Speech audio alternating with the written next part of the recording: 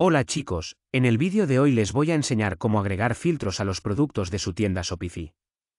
Así que primero que nada, vayan a Panel de control de Shopify y haz clic en tienda en línea y ahora vas a hacer clic en navegación allí mismo. Ahora, como puedes ver, hay menús, pero también hay colecciones y filtros de búsqueda disponibles. Entonces, si quieres agregar filtros de búsqueda, ¿Quieres instalar esta aplicación de búsqueda y descubrimiento en Shopify? Entonces, vamos a instalarlo ahora mismo. Y ahora que lo has instalado, como puedes ver, puedes editar tus filtros existentes, promocionar tus productos y ayudar a tus clientes a encontrar productos fácilmente. Mejor hagamos clic en personalizar filtros. Ahora puedes agregar cualquier filtro que desees y dejarlo disponible por disponibilidad o precio. Entonces, vamos a hacer clic en el precio, por ejemplo.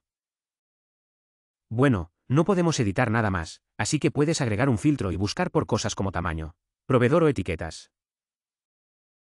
No tengo muchas opciones porque no tengo muchos productos en mi tienda. Es solo una tienda de ejemplo para mi canal de YouTube. Entonces, por ejemplo, puedes. Elige un filtro que quieras agregar, como por ejemplo, por tamaño,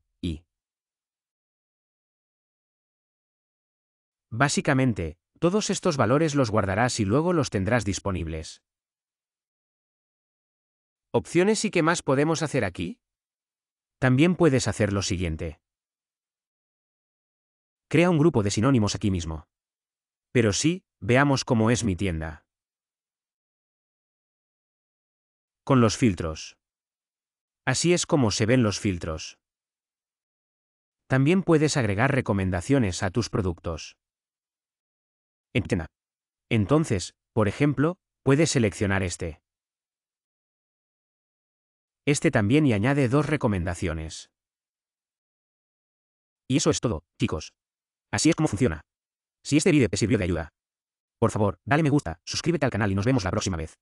Please leave a like, subscribe to the channel, and I see you next time. Bye.